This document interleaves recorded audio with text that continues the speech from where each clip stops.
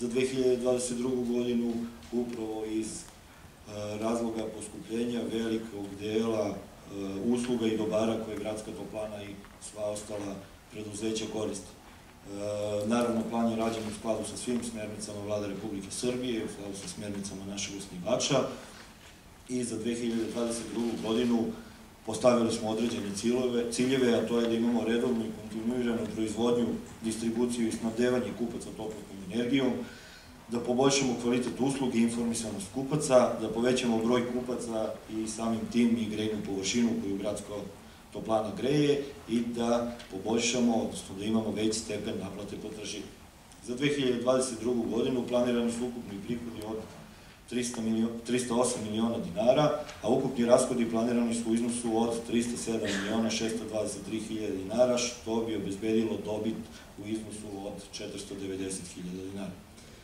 Naravno, najveći prihod je od pruženja osnovne delatnosti, odnosno od naplate isporuke toplotne energije, i on za 2022. godinu je planiran na nivou od 277, 277 miliona 705 hiljada dinara, a sve to na bazi kvadraturu koju gradska toplana greje i na procenu ostvarenog prihoda za 2021. godinu, a na osnovu cena koje su planirane za 2022.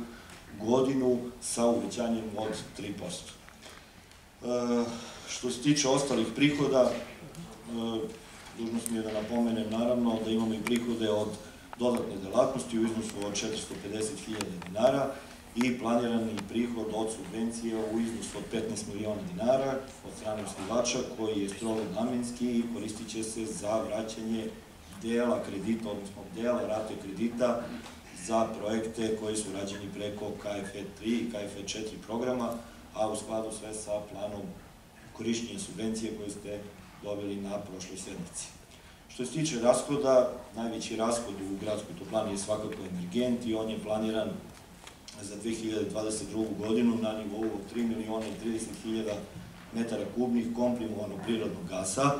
Svi znamo ovaj, kroz kakvu energetsku krizu prolazi i Evropa, naravno i Srbija, samim tim i to se znatno odražava i na gradsku toplanu. E, cena prirodnog gasa, odnosno komprimovanog prirodnog gasa je planirana na osnovu iskustva iz prošle godine sa cenom od 54 dinara po metru kubnom, a e, zbog situacije koje smo imali u ovoj godini, a to je neki prekid isporuke gasa, planirali smo i nekih 150.000 kg mazuta po ceni od 67,91.